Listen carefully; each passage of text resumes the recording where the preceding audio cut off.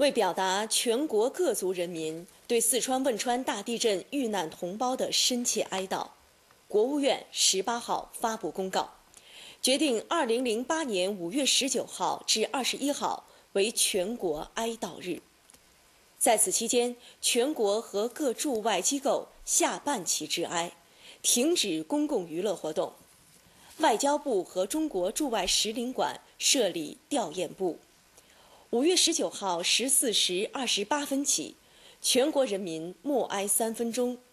届时，汽车、火车、舰船鸣笛，防空警报鸣响。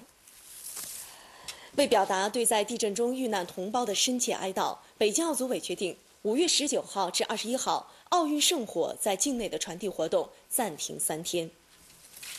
今天清晨四点五十八分。天安门广场在正常的升旗仪式之后下半旗，以表达全国各族人民对四川汶川大地震遇难同胞的深切哀悼。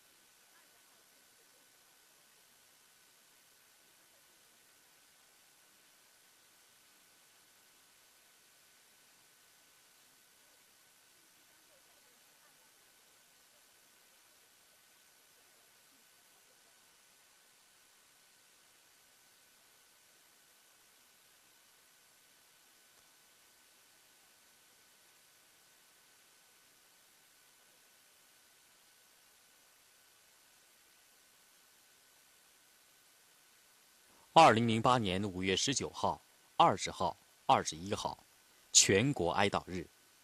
全国各族人民都以最庄严的仪式，深切哀悼这次地震灾害中的遇难者。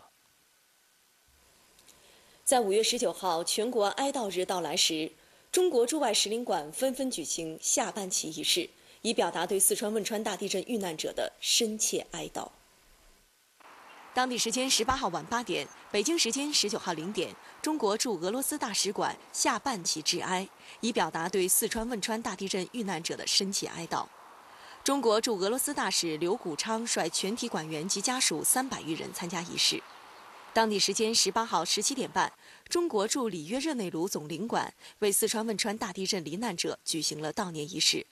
总领馆门前下半旗致哀，全体馆员在国旗下默哀三分钟。李宝军总领事主持了整个悼念仪式。美国东部时间十八号下午四点五十六分，中国驻美国大使馆下半旗致哀。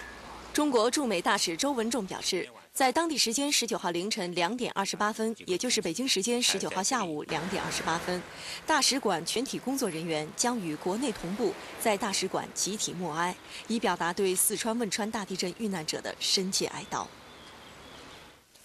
香港特区政府发言人十八号晚宣布，香港特别行政区的所有政府机构及学校在全国哀悼日期间下半旗致哀，以表达对四川汶川大地震遇难者的深切哀悼。澳门特区政府新闻局表示，在全国哀悼日期间，澳门特区所有政府机关将下半旗致哀，停止公共娱乐活动。在五月十二号四川汶川地震发生之后，中国地震台网中心利用国家地震台网的实时观测数据，速报的震级为里氏七点八级。随后，根据国际惯例，地震专家利用包括全球地震台网在内的更多的台站资料，对这次地震的参数进行了详细测定，据此对震级进行了修订，修订后的震级为里氏八点零级。据初步调查统计，此次地震最大烈度达十一度，破坏特别严重的地区超过十万平方公里。受灾最严重的地区是四川省北川、什邡、绵竹、汶川、彭州等地。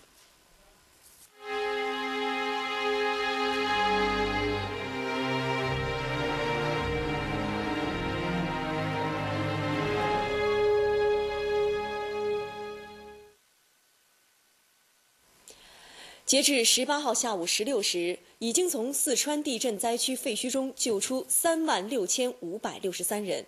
临时安置四百五十六万五千三百人。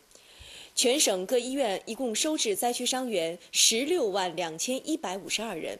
四川地震灾害造成死亡三万一千九百余人，受伤二十万九千九百余人，被埋九千五百余人。十八号，抗震救灾进入到第七天，灾区的各项救援工作全面深入展开，救援人员争分夺秒地搜救被困群众，全力救治受伤人员。截止到十八号八点，人民解放军和武警部队共出动十一万三千零八十人，出动各型飞机一千零六十九架次，军列九十二列，动用大型运输车、吊车、冲锋舟等各型装备十一万台，派出医疗队一百一十五支。期间来，挖掘出被埋人员两万一千五百六十六名，救治受伤人员三万四千零五十一名，转移安置受灾群众和游客二十万五千三百七十一人，空降机降物资三百零七吨，抢修道路五百五十七公里。成都军区向三十八个重灾区乡镇增派的五千二百名官兵，十八号十二点已全部到位。十八号下午四点，总参作战部副部长马建介绍说，目前救灾部队共划分为五个责任区。第一责任区现在投入两万三千九百五十人，第二责任区投入一万两千余人，第三责任区投入了一万四千三百余人，第四责任区投入了八千八百余人，第五责任区投入了两万五千余人。十八号下午三点三十六分，汶川映秀镇被埋一百四十六小时的沈培云被成功救出，并被飞机送往医院救治。一个又一个顽强的生命，在救援人员的不懈努力下获得新生。截止十八号零点，卫生部已向灾区派遣医疗卫生人员五千五百三十名，调集救护车五百五十辆，医疗救治队伍已经覆盖到灾区每一个县乡，实现了医疗救治全覆盖。其中，六百四十六名卫生防疫人员正在灾区全面开展卫生防疫工作，加强了对灾区环境质量情况的全天候监测。十一个重灾地区的五十二个饮用水源地均符合饮用水源地水质标准，目前还没有出现重大传染病疫情和突发公共卫生事件。截至十八号十一点，军队第一所野战机动方舱医院在绵阳全面完成部署，展开二百张床位、四个手术台。公路铁路方面，十八号因地震被严重损毁的都江堰至映秀镇二幺三公路被成功打通。随后，黑水松潘至茂县、茂县通往北川的道路也接连被抢通。至此，通往汶川地震重灾区城镇的公路通道全部打通，受灾地区的主要油路也已基本恢复。